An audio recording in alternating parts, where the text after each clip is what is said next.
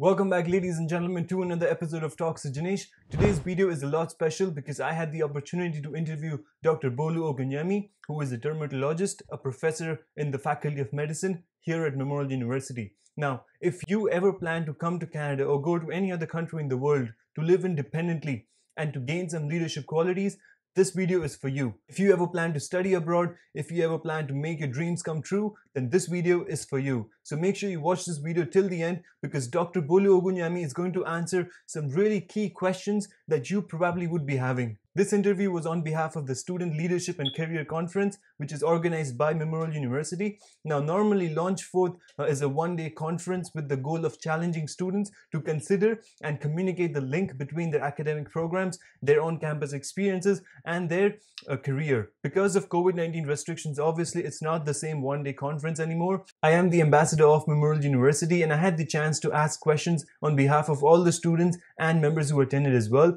Now, Dr. Bolu himself is going going to answer questions that you definitely have if you are thinking of pursuing a degree in the medical field or even in any field. Just if you want to gain uh, leadership quality or just life itself, you need to watch this episode till the end. Now, there are questions and time frames in the description. If you want to just get a specific question answered, then you can see what time that question was asked and just jump straight to it. You're watching Talks with Jinesh. Let's get started. Here at Memorial University. Uh, the thing that brings a smile to my face is that he is also a MUN alumnus. Dr. Ogunyemi is also an award-winning uh, writer in the areas of diversity and inclusion, medical humanities and medical education. He has published in many mainstream media outlets and peer-reviewed scientific journals and serves as a reviewer for JCMS and CMAJ. It's an honor to be interviewing you today. Great. Thanks so much. Thanks for the kind introduction of course. So to begin with, I would like to enter a little bit into your past. Uh, mm-hmm. How did your childhood frame who you came to be today?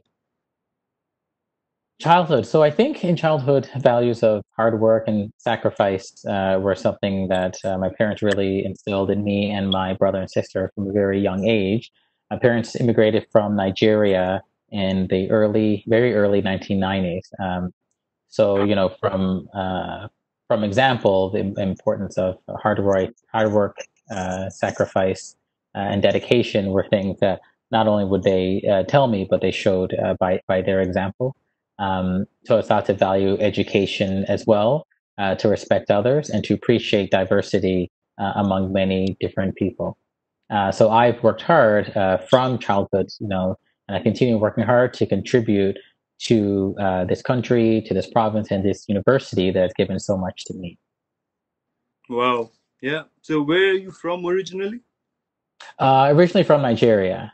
Nigeria. Uh, yeah, Lagos, Nigeria. But uh, yeah, I've been here since I was about you know three or four years old. So. Nice, nice. That's that's really nice. So as a child, what did you uh, want to be when you grew up? Uh, growing up, um, I did. I didn't actually uh, want to be a doctor when I was when I was quite young. I considered doing things like politics or even journalism um, before I thought about doing medicine. I, and it's because you know I always liked working with people, interacting with people, and and helping people and learning their stories. I think politicians can have important roles in improving people's lives through policy, and journalism, I think, is a field you know, in some ways it's, it's uh, under threat, but they're important in bringing out the truth and really seeking the truth and sharing it with others. Uh, although I do think um, in medicine, I've been able to combine the th- different things that I want in a career in terms of interacting with folks, interact with patients regularly. In fact, as you can see, I'm currently in my clinic. I just finished yeah. a patient maybe 15 minutes ago. Um, you know, see patients from all walks of life and learn their stories and also um, help them but besides seeing patients one on one, I participate in lobbying. So, lobbied the provincial and federal government to increase resources uh, for training physicians in rural parts of the province and of the country. Um, i have been uh, fortunate to be uh, published in research, as you mentioned in the kind introduction, and participate in leadership activity and advocacy. So, besides helping the patients that I see day to day, I can help uh, patients uh, on a broader uh, level as well. Yeah. So, so when you were a child, like uh, say for example, when you were in your uh, high school, did you have any sort of a vision in which uh, stream you want to pursue? Uh, you said something about journalism, so uh, was it was that your main drive, or uh, did you have it clear in your head that this is where you're going to move forward? And yeah, that's a good question. You know, it's hard. I think even even if you asked kind of two years ago what I'd be doing right now, it wouldn't be you know, I wouldn't, you know, I wouldn't predict that I'd be fortunate to be talking about leadership and take on leadership roles. Uh, in high school, um, in high school, I wanted to be a doctor. In fact, uh, we may get into it later, but you know, a lot of um, uh, leadership and a lot of leadership uh, positions just come up, and you have to take opportunities. But at the same time, a lot of leadership is is planning ahead. Um, you know, they say, um, you know, uh, you have opportunities when planning meets good luck, right? So, so uh, when I was in high school, I took a lot of science, math courses because I knew I wanted to do, you know, kind of uh, lots of science and math in university to prepare for uh, medical school. So yeah. yeah. I think when I graduated high school, uh, we had to write our ambition in the in the high school uh, yearbook, and mine was to be a doctor, which worked out well. So um, yeah, I think yeah. By high school, it kind of changed my mind. I thought there was lots of benefits. I loved science and medicine, and I knew I could you know interact with lots of folks. So by then, I knew what I wanted to do. Wow, that's that's really inspirational. I also had the opportunity to look at your uh, video on TEDx. So mm-hmm. that was really interesting. Your, oh, thanks. yeah. Thanks for watching. Yeah. Yeah, that was that's really good. The the YouTube channel out there has over 25 million subscribers. So had really big exposure. mm-hmm. So, what are the important points uh, in your leadership journey? Uh, that's a great question. Um, so, I think, yeah, I've always been one to think, you know, why not me in terms of uh, taking on leadership roles. Um, I mean, probably the very first that I can think of in uh, grade grade four, we had it was called Student Voice. So it was kind of a, a, student council, and I and I ran, and I I was successful. I had my brother was my campaign manager, so that was the very first time I had a we'll say an official kind of leadership uh, uh, position. Uh, here, when I completed medical school at Memorial, I was a president of the Medical Student Society, uh, wow. and here I thought.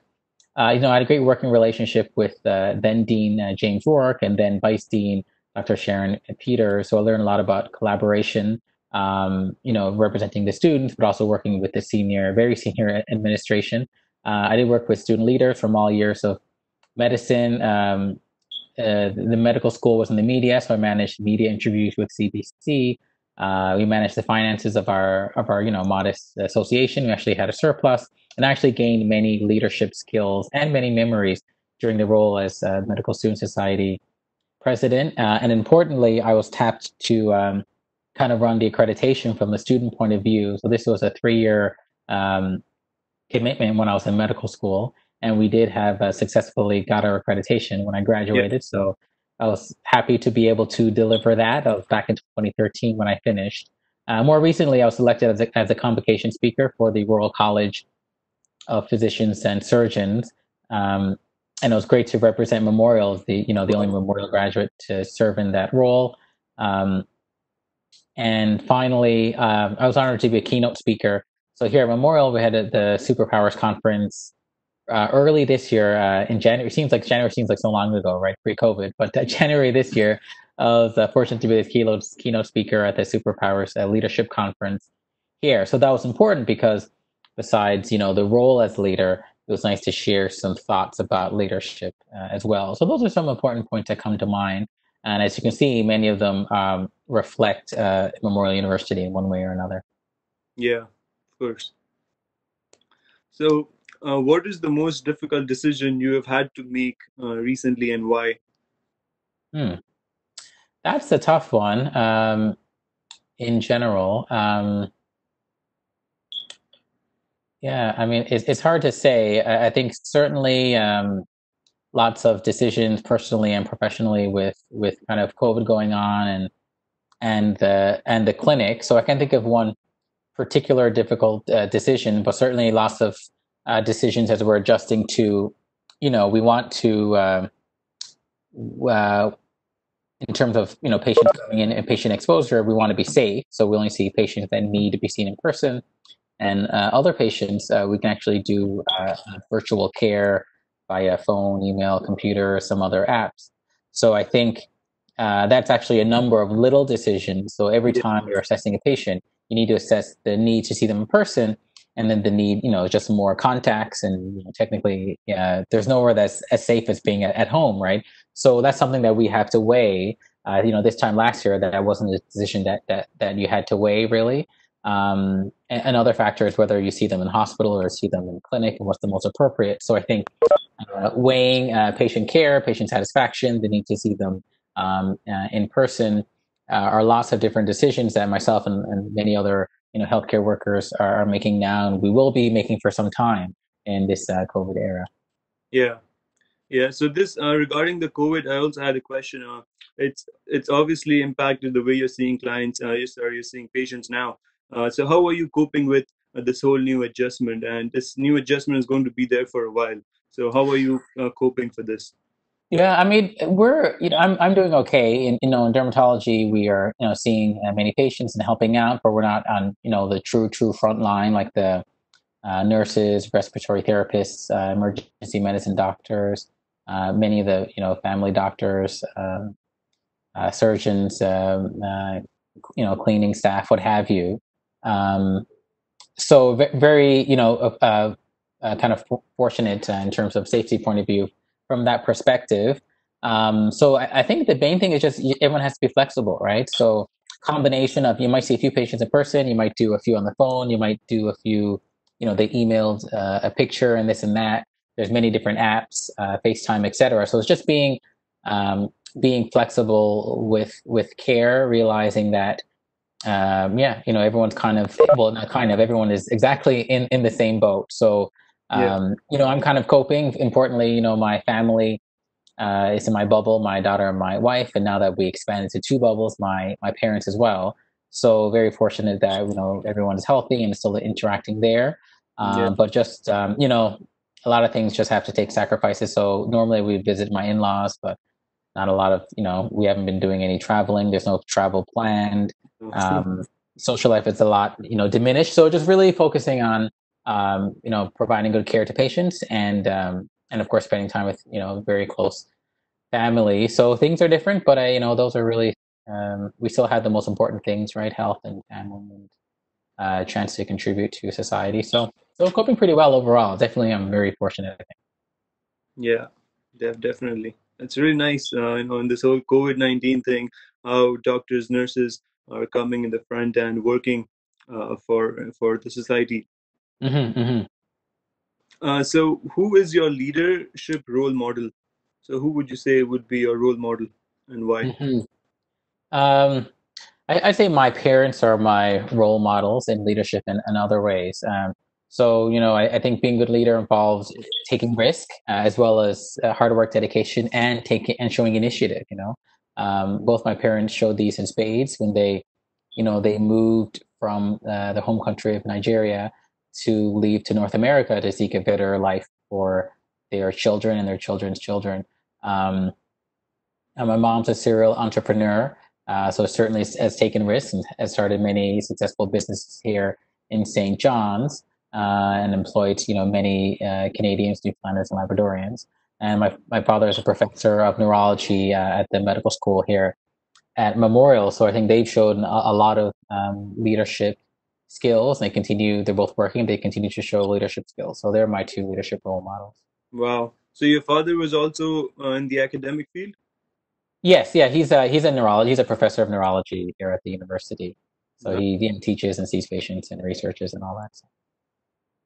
oh. he taught me in med school actually which is interesting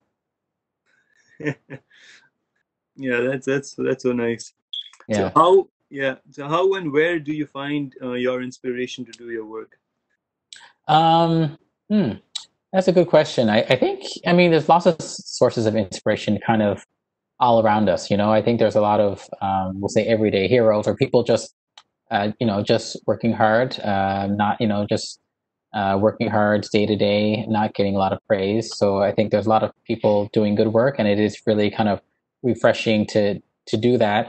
Um, I think that you know, I just I just like to leave places, whether it's school or work or a society community, better than than when I when I first came. So I think that's kind of a theme that I have going forward, and it's just seeing you know people, both those that you know we talk about and have platforms such as this, and a lot of people yeah. that uh, don't get you know praise or platform or formal introduction that are still doing you know good work. Right, you're going to the I think the you know the pandemic has shines light on things, right? You go to the grocery store, like what would you do without those people working there? What would you do without the farms? What do you do without the transport folks, right? So you kind of really learn who is uh, who's who's important that we don't necessarily think of as being you know crucial people. I, I think in a lot of a lot of times. So those are people that I think uh, motivate me to keep on, you know, just like they're keep on working, just to keep on doing what I need to do, both uh, both at work and at home. Yeah, Okay. Uh, so we have a question from one of the one of the viewers here. As Great. an undergraduate student who wants to uh, who wants to become a physician one day, uh, I would want to ask you how do you deal with fear? Did you pass your courses so smoothly because you genuinely liked your courses and study material, and that's why you passed, or was it something else? Uh, okay, good question. So lots to unpack. It, so I did my undergrad at Western University of Western Ontario.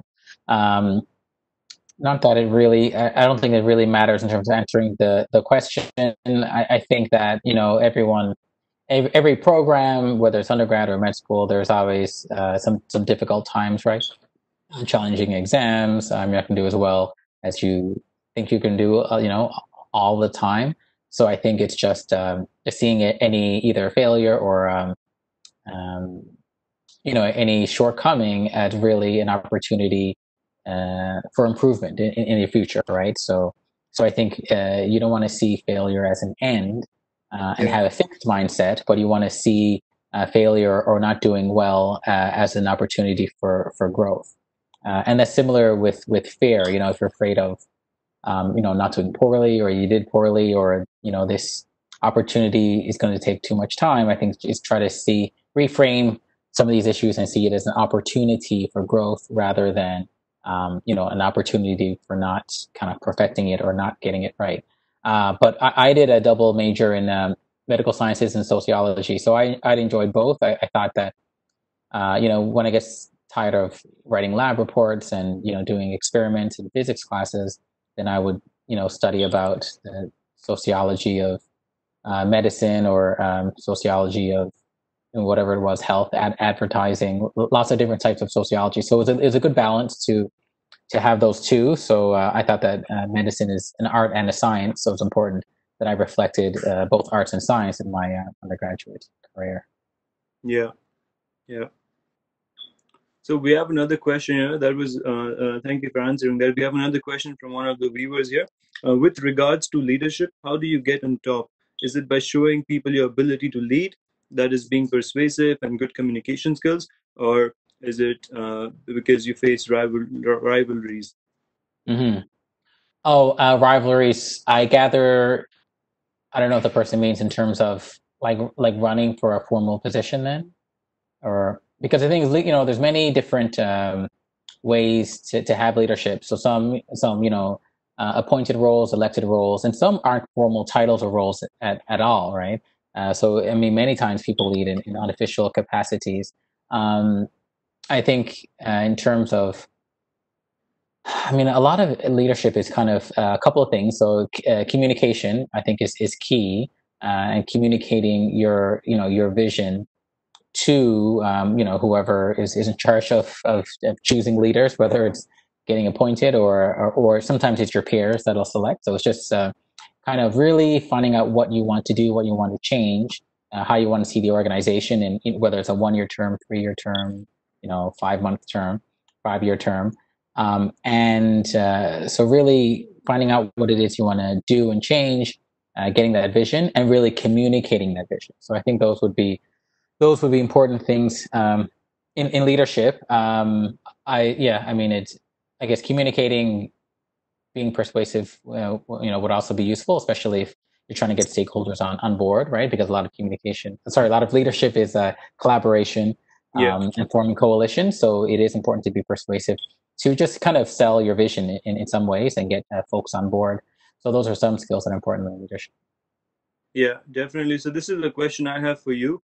Uh, hmm your communication skill is obviously so good. So how did you develop it? Like for me, I have done fundraising. I've done door-to-door fundraising for quite some time. So that's how hmm uh, I I've got you know fluent and I've got comfortable hmm with speaking to people. So how did hmm you overcome? Uh, your, I mean, if it may not be that you ever had, but if you had, how did you overcome the complexity of speaking to new people or uh, just you know starting up a conversation? That's a great question, and I, I like how you said uh, skill of communication. I I think the the biggest uh, misconception that folks have is that um, you know everyone that they see that's a good speaker is naturally eloquent and, and comfortable speaking, uh, and that and that they don't have that tr- you know that trait or that gene. Uh, when really, uh, it's important to see uh, speaking.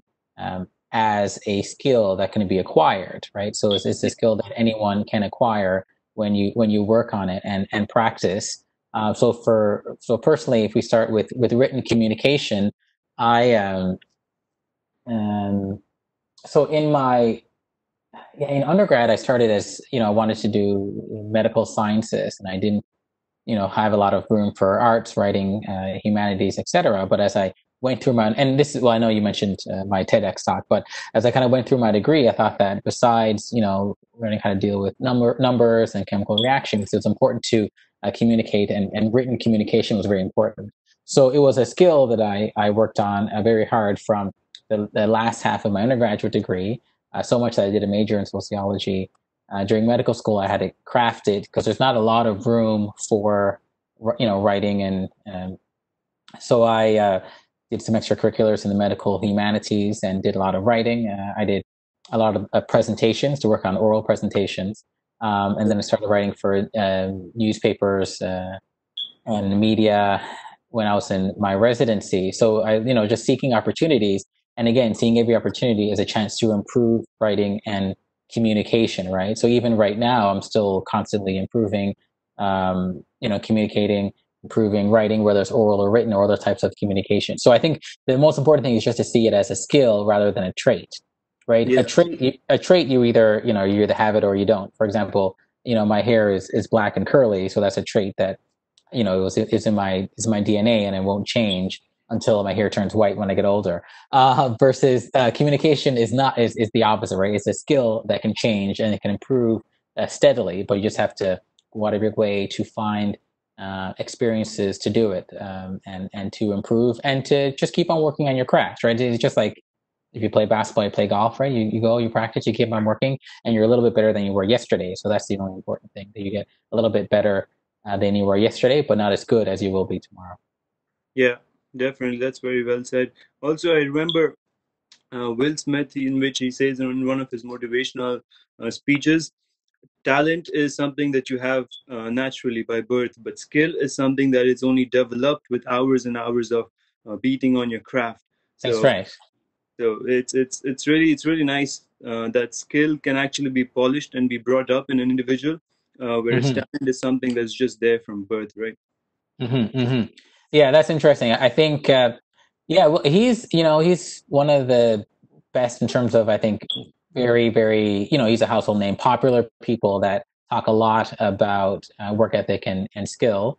Um, the late Kobe Bryant also has a lot of you know content out there. Um, I think from uh, so so that's important. Just you know people that we kind of know from uh, kind of, you know, we're talking at a university function. So, at an academic point of view, um, Carol Dweck is a um, Stanford psychologist, and she's done a lot of work in work in growth mindset, and that's a very important concept to have. Um, as well as um, uh, there's a psychologist at Penn who talks a lot about grit. Uh, so those are those are just in terms of resources. I don't know if folks are looking for resources. Those are some things to look into. So uh, Carol Dweck is just briefly a growth mindset has that uh, failure is not the end; it's a springboard for growth. Uh, that even as adults, right, we have the you know a, a near infinite capacity to grow and improve day to day, and um, uh, you know intelligence and creativity and leadership are not, as you mentioned, not traits or or natural talents, but they are skills can be honed. Yeah, definitely. So we have another uh, question from a viewer here. Uh, Right. he's asking, can social media boost your communication skills? Can it help improve your communication skills? What do you think? That's yeah, that's a great question. Um, I've actually thought about that uh, periodically over the last little while. Um, so I, you know, I've for, for, me, I use Twitter the the most, um, and they. So right now they have 280 character limit. It used to be 140. It's, yeah. it's interesting because if you're, you know, if you're on social media and you're trying to c- connect with with folks uh, in in the world, um, you, you have to be concise. You know, it, it, you have to with the character limit. You have to get what you want out, make it clear to a general, you know, it's a worldwide general audience, uh, but concise enough. So I, I, think it's actually useful that way. So similar with with writing, uh, when I began kind of writing in, you know, my uh, first degree, um, a little bit a little bit uh, wordy and uh, a little bit rambling. Uh, so I really kind of um, kind of tighten things up. and every so every time I submit for um, a, a news a news um, yeah newspaper or other kind of uh, publication you know they'll they'll make edits and revisions so for me uh, i always look at those. So i look at the final product that they publish and compare to what i submit. And then that shows you what you know what they fix and a lot of it is just shortening things and tightening it. So i think social media can be interesting in a way in terms of tightening your communication. And yeah. another idea is just you know we're all we're all biased and see the world from our our point of view and our perspectives. But when you put something out there then other people again uh, when they see your content their uh, impression is clouded by their perspectives and their uh, yeah. their points of view and, and their biases so you can learn from people's reactions to what you post uh, it helps you kind of reflect a little bit so those are two useful uh, kind of things you can get from social media yeah yeah that's that's great points so another question is uh, we have here, I want to ask about human anatomy. I find it really easy to see drawings of textbook images of cell structures, lung structures, etc. However, I am really afraid I might faint looking at an actual human dissection. And mm-hmm. I'm scared of cutting and uh, looking at blood. So how do you overcome uh, this medical shock? That's it. Yeah, uh, that one's an interesting question. Um, it's true that it's not the same because uh, yeah, you mentioned uh, or the person mentioned looking at it in real life is different. And when you you know when you see that this is a real um, you know it's a real human that lives that uh, you know we're grateful that they donated their body to to science. But it's not just looking at it, you know, feeling it and actually smelling it, right? So there's, there's you know, there's formalins used to, well, is used to preserve the bodies, but it's, it, you know, it's not for the, the, the most fainted heart. I think one of my cousins, you know, in Nigeria, she, um, there's some uh, some doctors in the family, but she was less keen to do it just because you know the first time they're in a cadaver lab, they're like, nope, I'm out. Um, I, I, do think that um, you know uh, many people, I can't say most, but certainly many people can can get used to it. You know, the the, the human body um, uh, desensitizes. You know, that's and that's a crucial uh, adaptation, right? The human body desensitizes. It's uh, similar to just to make things a bit lighter. You may have seen the commercial. I don't know if it's Bounty or what. They talk about being nose blind, right? So if you if you you know if your house is a bit smelly and uh, you won't notice it when you're there but if you leave and come back in two hours you'd be like oh my god i can't believe i lived in this the last couple of days. So it's similar with with a lot of a lot of reactions. I think most people uh, can get um, uh, desensitized to a noxious stimuli. So i wouldn't you know rule i wouldn't rule things out based on that but it, is something to consider right? I mean there's going to be there's gonna be yeah i mean there's gonna be blood and guts and some of the some of those. That's all part of part of being a doctor right? Yeah. So another another question is uh, what keeps you motivated to build a hopeful future in this province? And uh, when you could be anywhere in the world? Mm-hmm. that's a great question. Uh, i mean the main thing is like everyone for me the province is home. You know this is really the only home that i that i remember. Um, and yeah, I mean, all my you know childhood memories uh, are are here in St. John's. I grew up in the West End, and you know, friends, family, friends are here. So for me, uh, you know, I, I, wouldn't live anywhere else. Uh, in terms of uh, yeah, um, hope hope is important. I think you know, hope is important uh, uh, all around the world these days. I, I would say particularly in Newfoundland and Labrador. you know, with our our fiscal situation and some other challenges that we're facing, even on top of the rest of, say, the country. Um, so it is important to to keep hope I think that you know um, Newfoundlanders, Labradors are, are, a very hardy bunch. So you know, I have no doubt that we can. You know, this too shall pass, and we shall kind of overcome some of the challenges, whether it be COVID, financial, um, etc. Um, so I, you know, I think it's important to keep a positive perspective and and just leverage some of the uh, benefits that that we have. Yeah, yeah. Did you ever think of moving out somewhere else? Um, maybe during your uh, after your med- medical degree? Did you ever think of yeah. that? Um, you know, the only time I lived outside of Newfoundland uh, was for training. So I did a four-year degree at, at, at Western, uh, just because they didn't have that particular program here at Memorial. I came back here for medical school and did some graduate school, and then I did my dermatology training at UBC. Uh, mm-hmm. Uh, I always wanted to come back here, but I knew that they, they, you know, we don't have a dermatology training program here at uh, in, in, Newfoundland. So I went to Vancouver for five years and came back a couple of years ago. Um, I would, I mean, it's up to me. I would live here, you know, forever, die probably in St. John's. Um, you know, there are, yeah, certainly there's other opportunities. Um, I think that some, you know, opportunities uh, and gaining expertise are, are best abroad, um, you know, uh, but for me, the whole goal, just just like I went to Vancouver for five years to train, was to bring that skill back, right, to help people in my home province. Yeah. Uh, so you know, depending if you know I have other interests um, outside of um, you know medicine, things like leadership and helping out the community. So if there are uh, opportunities to uh, develop skills um, and just different perspectives that I can bring to improve the lot of um, you know, of, of folks here uh, Newfoundland Labrador, then that would be, uh, yeah, that would be an opportunity to, to go away to, to learn uh, in order to kind of bring that back here. Yeah, yeah. So this is a question I've had personally. I've always wanted to ask a medical student. I don't have many friends in the medical department, but now that I have you, I'd like to ask you. sure. All ears. So uh, when you were in your medical school or uh, when you were preparing for it, I'm sure there must be very little time for you uh, to do other activities like you know social gatherings or uh, doing entertainment. You must have very little time for that. So how did you manage that? How did you uh, do your time management? How did you equally divide your time uh, with everything that you're supposed to do with all your responsibilities? Yeah that, that's a great question. Um, and uh, yeah it's funny looking back. So now i'm a father. I have a 10 month old at home. And um, you know that's you know being a parent is a lot especially to young children is a lot busier uh, than than being a, a student uh, in, in my personal experience. Um, yeah. so that's that's the first thing. Um, uh, yeah time management is is very I- important. Um, i think a lot of it is just knowing the difference between things that are some things are important and not urgent some things are urgent and not important and just sorting that out right? So so typically um, um, yeah, we would do courses and study. And, you know, after an exam, you don't really feel like studying because you just kind of, you know, you may have crammed for it. Uh, then I'll spend time doing some, uh, some other extracurricular activities. Um, and I, in a way, I saw them as kind of a break from, you know, you know, besides studying medicine, it's important to uh, talk about things like uh, lobbying the government or um, uh, working on policy, uh, educational policy um, and then involvement with the medical student society, et cetera. So I kind of saw it as a little bit of a break from from studies. So th- that was important.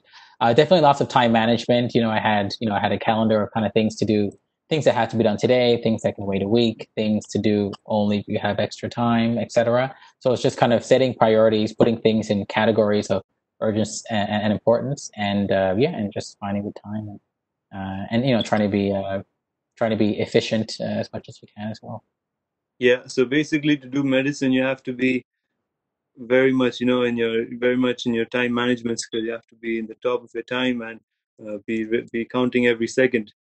Well, maybe not every second, but but again, see, use the word again, skill, right? Time management yeah. skill. Uh, so you kind of um, um, you, you kind of learn as you go.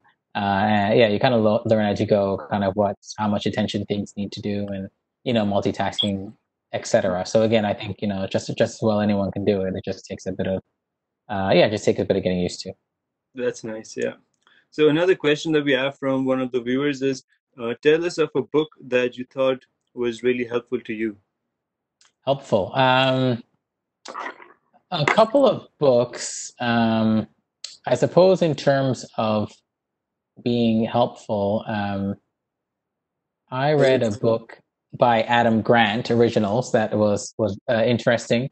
Um, it, it, talks about uh, uh, uh, leaders and being, you know, being um, original and some of the skills that they had and how opportunity played a role and some of the different ways of thinking.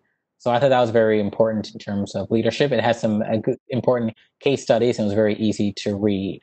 So I thought that was, uh, yeah, I thought that was uh, very helpful.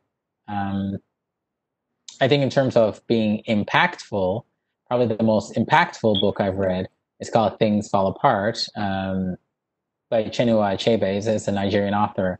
Uh, so he, so that one is um, fiction. It talks about uh, colonialism uh, in Nigeria and the experience that you know uh, contact with uh, the Western world had on on Nigeria and and the folks there. So that was important because um, you know I think it's important to to have a look at um, it's, it's, well, I mean, uh, history and the, the role that, uh, you know, our history, collective history has in shaping where we are today. Um, so that was a, a, more impactful book, but I thought that uh, Originals by Adam Grant was, was also a very, uh, yeah, uh, useful and interesting read. Yeah. Yeah. I have a book here uh, that I really enjoy. I, I finished it like three times already. this book is by Dale Carnegie. Oh, okay yeah, yeah, how to win friends and influence people. So uh, this is one really really nice uh, book to actually you know. Yeah, that that one is yeah that one's a very very popular book. Uh, that one must it must have been selling millions of, of copies, right? Yeah, yeah, yeah. I mean, I've, I've, heard of that. Yeah, yeah, That, I mean that's that's not surprising. It's you know it's one of those uh, like the art of the deal. You know, it's it's like the art of the deal. It's like a book that kind of everyone knows. I actually I haven't personally read it. I really I really should, but uh, yeah, thanks for sharing that one Of course. So this uh, is another question is on leadership. Uh, do mm-hmm. you have a mentor, and how have they influenced you? Yeah, so that's actually a very great point. Um, I've had a lot of mentors, um, and it's one of those things where when you're kind of in it and and um, you know going through uh, training, et cetera, you don't really realize it until you reflect after. Uh, I was very fortunate, and um, and there so and mainly at, Memorial. So I'll, I, in fact, I'll kind of go through it a little bit to put some context. I think a lot of folks don't um, realize that you can have you know different mentors for different areas and different you know goal, if you will. So when I was at Memorial, um, I had my uh, clinical mentor, so I wanted to be you know a, a dermatologist. Uh, so um, you know, uh, Dr. Ian Landell is a dermatologist that I uh, that I worked with uh, in in medical school. Um, so and actually worked with him uh, in the same clinic as a staff physician, which is a kind of nice full circle. So it was like kind of clinical mentorship in dermatology. But besides that, I spent a lot of time in, in leadership. So Dr. Sharon Peters was then the vice dean of faculty of medicine, and lots of time in, in accreditation. It was three full years. Uh, you know, she was managing it overall. I was managing the, the student aspect of, of accreditation. So there's lots of you know tasks and meetings and documents and reviews and this and that and teleconference, etc. So um, so she was my mentorship in my mentor in leadership. I talk about my mentor in clinical medicine. I had a strong interest in medical humanities um, and doctors uh, Jim Connor and um, Jennifer Connor, uh, who were my uh, mentors in that. We did a lot of projects and they supported me a lot of projects in uh, medical humanities for again for three years during my uh, during during medical school, um, and also had a research mentor. So I did a lot of research with um, uh, Majid Qureshi, uh, who's a rheumatologist, uh, just finishing up his career, as well as Jerry Mugford, who's an epidemiologist. So it was actually nice. I had kind of a pool of of mentors. So my interest in you know uh, clinical care, research, uh, leadership, administration, and writing and medical humanities uh, were all, all, kind of, uh, you know, I guess blossoming, if you will, because I had people that were willing to take their time out to men, men, uh, mentor mentor me. Yeah, yeah, that's nice. So another question is, I think I already sort of asked this question, uh, but uh, how do you manage work life and school work together? So when you were a student, how did you balance your school work and your off-campus work together? Mm-hmm. Uh, it's tough. I mean, there's no um, there's no kind of mag- magical formula. So it's it's pretty pretty typical. I, I, think I found with with with some medical schools uh, when I went through, certainly with undergrad, things kind of ebb and flow. You know, I, I, think you know in exam month or three weeks of final exams, like you're not. You know, for me, typically didn't spend a lot of time doing extracurricular activities. I was, you know, studying exams and, uh, you know, preparing as much as possible.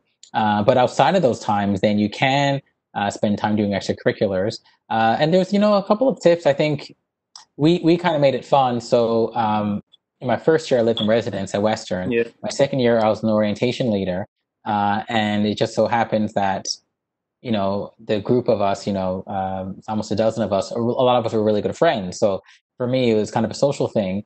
Um, as well as you know, uh, we were you know, we were leaders and having extracurricular activities, so we kind of put them together. Um, I think that was useful.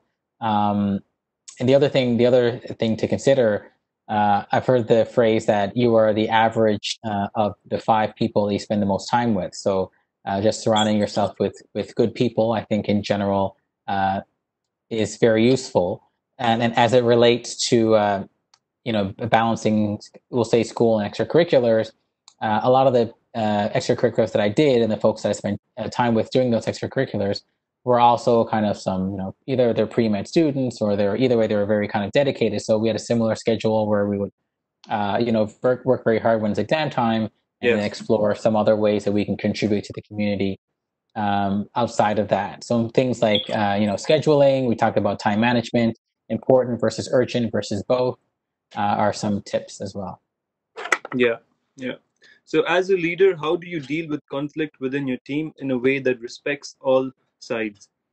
So as a medical uh, doctor, you, uh, so as a leader and a medical doctor, you must have encountered situations where uh, you have to deal with conflict. So how would you go about uh, dealing with that? Mm-hmm. mm-hmm. Yeah, that's a great question. Um, yeah, so I served as a chief resident uh, in uh, dermatology at the University of British Columbia during my training. So there, there was, you know, there was a, a little bit of conflict because I was representing the the other residents, so you know those trainees, uh, while um, you know discussing in a room mainly full of you know full um, uh, you know uh, completed uh, dermatologists.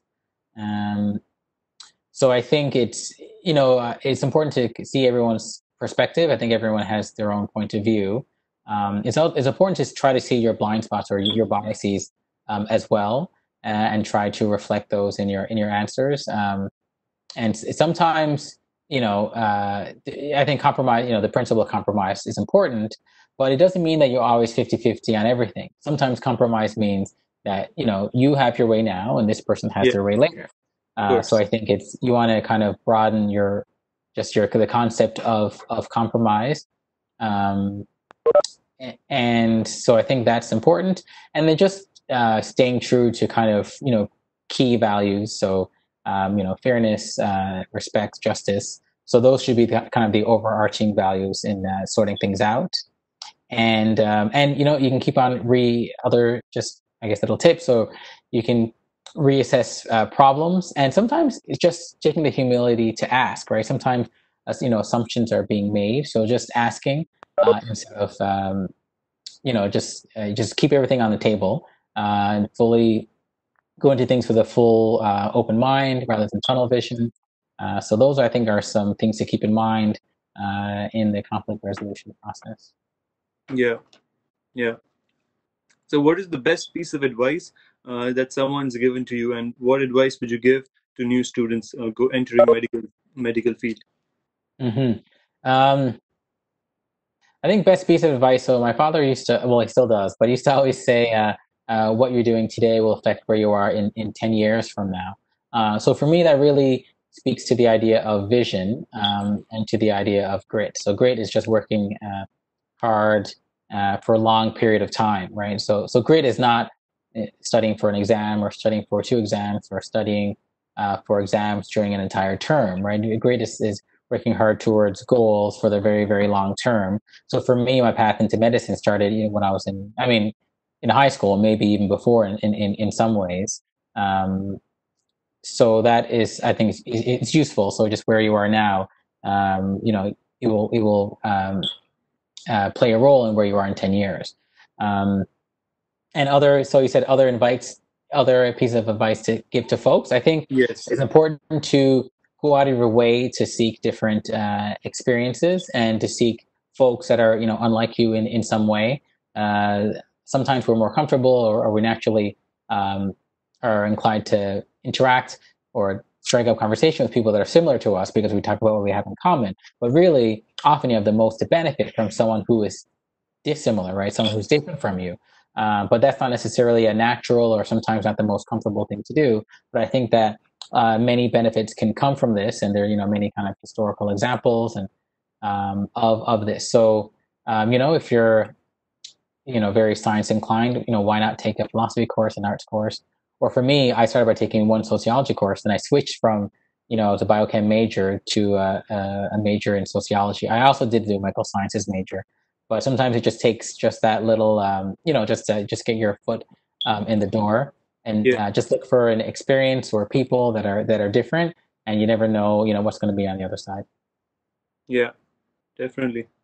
So another question is, uh, as a medical doctor, you must encounter many stressful situations. So how do you unwind or cope with this stress? Um, I think the main thing is really just uh, for me, just uh, going home to uh, my family. You know, uh, when I was in medical school, it was my uh, it was my parents, and now it's my my wife and my my daughter. Just you know, at the end of the day, kind of unwind whether it's a good day or a bad day. You know, that they'll always be there. So that's uh, yeah, that's really the main thing for me. Sometimes running, you know, running some things um, uh by you know by those that that care about you can be useful in terms of uh, unwinding. Um, so it, it is important that, you know, as much as we talk about uh, hard work and achievement and vision and, you know, dedication and working hard, uh, you know, people need balance. You can't be on all the time because we're not robots, right? So we have, yeah. you know, needs, um, uh, emotional needs, etc. So it is important from time to time to unwind and to reflect, right? And to re-energize. Yeah, definitely.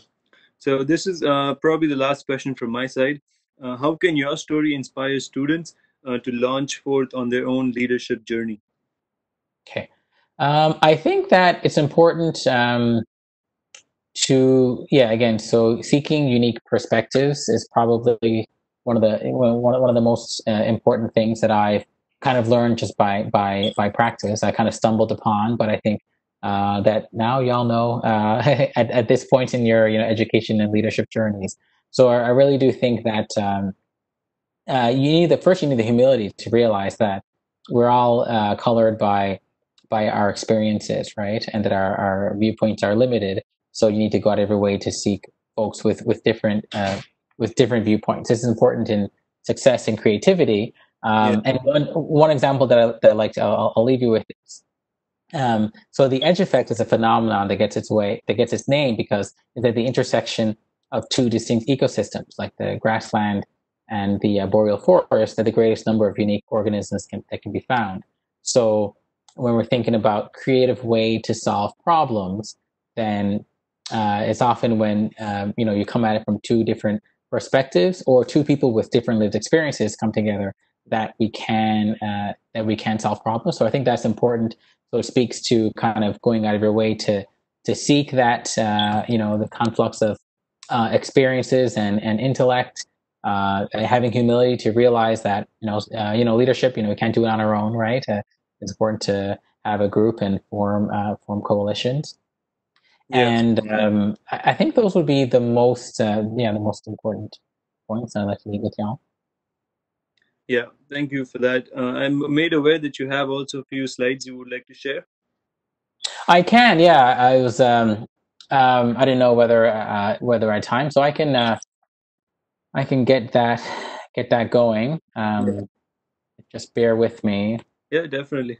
That'd be awesome. Uh, and then I think I have to share. Um, so I, I'm I'm the presenter. You are. So there should be a button down. Share content. Okay. Okay. I got. I think I got. I think I got it. Okay. You guys can see my PowerPoint screen. Yep. Okay. Uh, enter full screen. Oh no, that's not full screen. Uh, review. View. I think if you press F5, it should go into full screen. Yeah. Slide. Uh, oh, Device order. F5. Oh, oh I'm on a I'm on a Mac. um, oh, so I think slideshow play from start. Okay. Oh, there you go. Yeah. You guys got it great. Okay. Uh, so I'll talk a little bit about leadership in today's world. You guys can cut me off. It's getting close to four. Um, and I've actually talked about a lot of these uh, already, which is which is neat.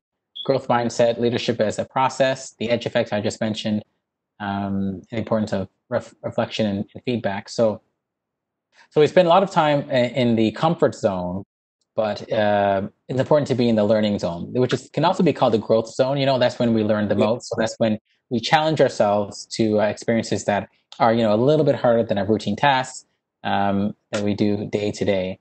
So the growth mindset was um, conceptualized by Carol Dweck, who's a Stanford-based psychologist. So we talked a lot about it. So the growth mindset focused on skills versus talent. Uh, it holds that character and creativity can be malleable. So they're not they're not static. We have an infinite, you know, infinitely large capacity to learn. And failure is really a springboard success for success. You know, uh, failure is not the end.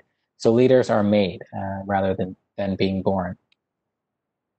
So for those that are numerically inclined, right? So if you're doing the same thing for a full year, after the year, you'll be exactly where you are. But even if you increased a little bit, right, 1.01, there's a considerable difference at the end of the year. So that's just a numerical way to phrase what we've kind of been saying. Um, and I like this, uh, you know, these words from uh, composer uh, and pianist Duke Ellington, right? Favorite uh, songs repertoire is always the next one. Um, so for leadership, one size does not fit all, right? There's many uh, uh, ways that leadership can can look like leadership is about perspective. So it's about seeing something familiar with a fresh perspective. So vuja de is kind of the opposite of deja vu, which I'm sure many of you are familiar with. Uh, René Laennec was a French uh, flute player turned into a doctor, and he actually discovered the stethoscope. So on the bottom right is a modern stethoscope, but on the top right is the uh, first prototype of a stethoscope, which looks a whole lot like a flute is because he took principles of sound amplification as a flutist and translated them into making the modern stethoscope. So it's only because he had the experience in music and in medicine that he was important to. Um, he was able to make this symbol that's uh, you know it's a true symbol of medicine, right? The stethoscope. Um, another example. So pointillism is an art form. You see the picture on the left. Uh, but it, we applied it uh, to make tests for color blindness. So all these individual dots can be applied in the health field for color blindness tests. And it's also uh, applied in tech, right? So the pixelation on your phone is also made of tiny little points. And this concept came from the art form. So, so you know, if you kind of think laterally, then a lot of uh, uh, experiences and skills can be used to have creativity and success in different ways. Um, I'll skip a few slides. I know we don't have a whole lot of um, of time left. Um, okay, so confirmation bias. So again, about humility. So confirmation bias is when you only see the subset of uh, facts out there that um, agree with what you already think. So it's important to seek all the facts out there, uh, and in fact, to investigate, you know, opinions that may not be uh, exactly as you have them, and avoid confirmation bias and living inside your own bubble. So in this way, bubble is a bad thing, but when it comes to uh, you know fighting COVID, uh, bubbles is a good thing. Um, this is just the definition of confirmation bias. That's something to avoid. So I thought this was was interesting. Um, Lizz Winstead is a co-creator of the Daily Show, right, with Trevor Noah. Um, so one way that he's kind of modernizing the way uh, to use social media, which I think you mentioned earlier on, um, she'll post a joke just to see see if it sticks or not. Over 25 retweets in one minute, then that means you know that meets the bar and the joke stays and it goes on to the next level and then it might be used on the daily show with trevor noah. So i thought that was uh, kind of a neat way because really it's an efficient way to get feedback uh, an economical way to get feedback and uh, and it's a functional way to get feedback right? It reflects a diverse audience on her social media. So it's important to kind of think outside the box um, in terms of um, you know getting things done so we talked a little about mentorship so mentorship and sponsorship are things that I'll talk about um, next. So mentors can be at any level. They usually provide guidance, strategies, and feedback, and uh, help you to navigate kind of the hidden curriculum or hidden agenda. They can increase your con- your uh, confidence. sponsorship is something that's not talked about as often. So sponsors are often senior because they're in a position to publicly um, endorse you and help you uh, connect with career opportunities and to advocate for your advancement. So it's important to have mentors and, and sponsors as well. Um, and they can kind of, um, yeah, kind of help you to get to where you need to go. So mentorship, in, in a way, you know, it's, it's like watering the plant. Whereas a sponsor, right, sponsorship, just like uh, you know Will and Jada here, someone that'll really uh, endorse you publicly and help you to, you know, maybe make that connection or get that presentation uh, or give you that research opportunity, etc.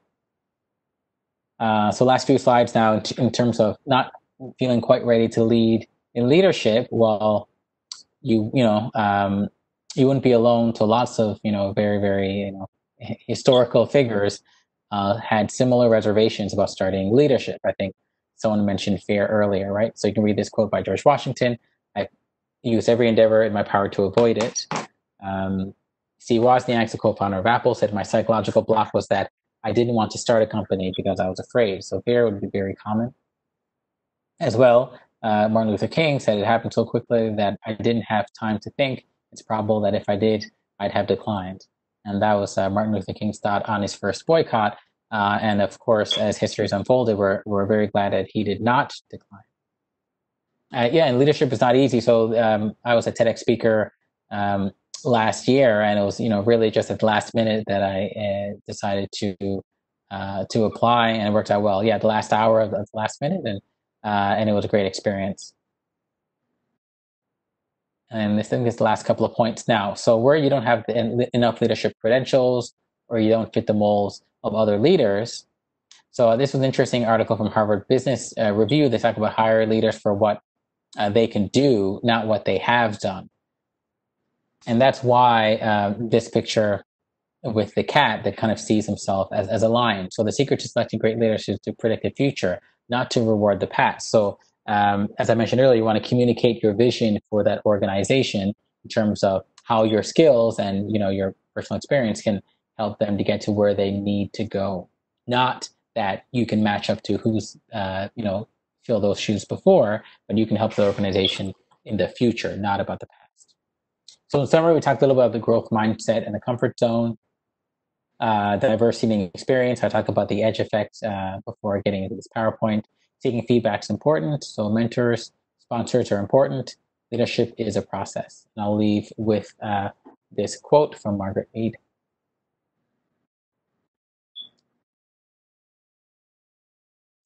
Yeah. Great. Good. Well, mm-hmm. uh, any any last questions? Then? Um, there is one question that's here twice, so I might okay. you if that's okay. Sure. Um, people are just wondering um, how you found your mentors, if you actively looked for them, or if you kind of just stumbled upon. Them. Yeah, it's a good question. Um, sometimes uh, organizations will have um, formal mentorship programs. For me, I because I um I mean did I let's see.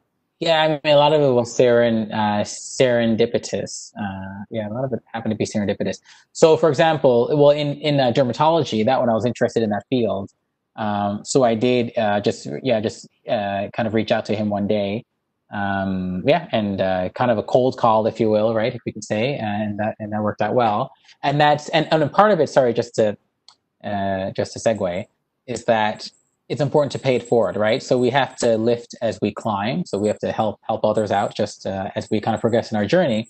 So just as I mentored, sorry, just as he mentored me when I was kind of going through the racks, I mentor others because I know there's going to be others that are going to want to uh, be, you know, in the shoes uh, that I'm in right now. So it's important to uh, to uh, lift as we climb. Um, yeah, so some of it was, yeah, I would say cold calling, uh, and a lot of it was serendipitous. I think. So if, you think about it, I think we all have lots of opportunities that we don't really, you know, see as opportunities. Sometimes we'll just write it off. So I just really carefully consider all the opportunities that come your way and kind of go, um, yeah, and just kind of go from there that's important. Take a little bit, take a little leap of faith. So not just in organizations, but also in seeking mentors. Just send the email, you know, try to flag them down, etc. Because you never know. It's not not not everyone has the time or the energy to do it. But some folks might, and I think it's worth yeah, it's worth just reaching out. You know, a lot of people are happy to help others and are actually even flattered, right, that you uh, that they think uh, they have something to to offer you. So I'd keep that in mind. Nice.